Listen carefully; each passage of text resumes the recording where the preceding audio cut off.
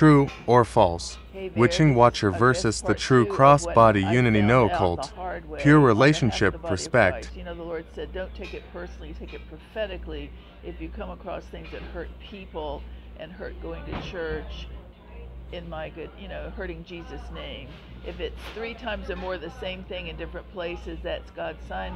The Lord told me through the years that He sees a lot of it and that I'm to address it and, and teach on it. So that's what I'm doing. Well, I found out that when I had lost my father and I had great pain in the state I li- used to live in where I discovered the spirit of prophecy, I'd relocated out to another area where I had been involved in the city with a lot of people of quality.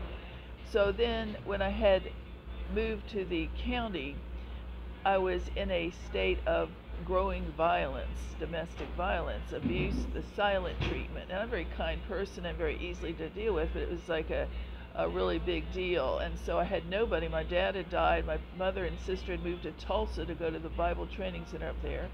And I had been in ministry, my own ministry, since the 80s. This is the 90s. But I had two children, and I had nowhere to really go that got that, that I could talk to and let them know. I would try to tell what I felt were like friends, and board member type people that were excellent people, but they didn't even think it was, they didn't get it. So there are many people, I want to let you know, these people are out there going through stuff and they need to go to church. They want to go to church to get away from it like I used to, and that's where this prophetic victim speak, the victim prophetic will read you and read me, try to read my mind it was so horrible. It's just, it's like a us against them paranoid. I have literally traveled during the years, and the only time I've ever had any type of issue with any kind of Christian group, any kind of ministry, any accusation, if that doctrine is in the, the Levitical patriarchism, which I name WELP, which is shepherding mixed up with witch occult and turf protecting. And because I'm a decent person, I will not name their group or put a picture up, make a TMZ video, and earn money off of it. But I will heighten the call for them to be delivered. I will teach on it and instruct because I didn't realize it because I'm a strong person. See, this is it. A lot of us are senior offices. We're just not famous and we get accused. A lot of us mothers in Christ, sisters in Christ, and fathers in Christ may not look your style, may not look your color, your gender, your energy. But whatever it is, this group, the occult, think they know more. They think they know more than all of us, and they don't know because they have never even gotten out of their perch, down from their mountain, to deal with real people. And I, my call is real people. I is real people and I'm also very respectful and I don't go on reading people's energy. I'm still a Baptist at heart, a happy camper, a Methodist type of Africa like Eric. I'll relate to you like Jesus did. I believe in the old-fashioned way. You you smile at people, you talk to them, you try to be open if they want to talk to you. I am.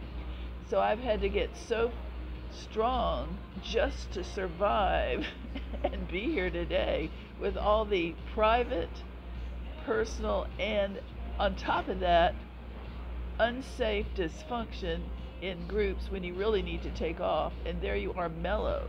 But it's usually not the very top person, the founder, because they're not out with it. We are representing visitors that get targeted. The targeted non-famous person who's a fivefold office, they can't recognize an Elijah from a witch in there. So I'm making it big and bold and frank, so that you, that the training will be different. Seer theology. This is the prophetic seer realm. My mother, her mother, the family trait. My father, even though they're Baptists and Presbyterians, non tongue talkers, my aunt, all of us have this seer, as in prayer warrior, have a ability to hear from the Holy Spirit, you know. Anybody does. There are tons of people that don't speak in tongues that do that. I speak in tongues now. But that family trait was always boo my grandmother always prayed, and the Lord would lead her and say, Move, and we would be. That's how it is with most Christians, with a relationship. But it was nothing difficult. It wasn't used to be prurient, to spy, to have to go into the occult and try to read their mind to dig out the worst. You know, are they in sin? Are they coming to take us over? Are they a witch? You know, another. It's sort of like uh, it's sort of like enthrone. I call it enthroning Jezebel, where they give. They built it up in their minds. They built it up in their little ministry minds that we are the we are the ones that everybody wants to take our turf and we better huddle together and get in the occult and use false authority. So it's witchcraft, plain old witchcraft. But I was not raised around it. I can talk about it, but I will say it as it is. Let's put it down. It's abuse. It's occult. It's witchcraft. It is aggressive. It is targeting. And I know it. God allowed the grace. It is defiling. It is harassment. It harasses me. I was, I, I can tell you, if I had a longer tape, I would. But um, I can tell you the times when I was at my most suffering, private suffering, a strong person. I don't let it out. But I'm with the Lord. People know there are two sides to life. I would be lose. I lost my mate. I lost family members. Had all this stuff, the abuse at one point, tra- uh, tragedy. And then you've laid down your life, tried to forgive everybody, tried to keep joyful, and you, you do your job, and you go to church, and you go thinking now I get to be with Jesus, time off, and they are a cult, a cult or occult, and their people get triggered when you the LP Levitical patriarchy. You trigger them for walking in and sitting down calmly. That is what we. This has been the anathema. This has been the shock. Why? All I know is I have a new move and they're not used to it, and I'm not a controller, and they are. But it's a spiritual warfare.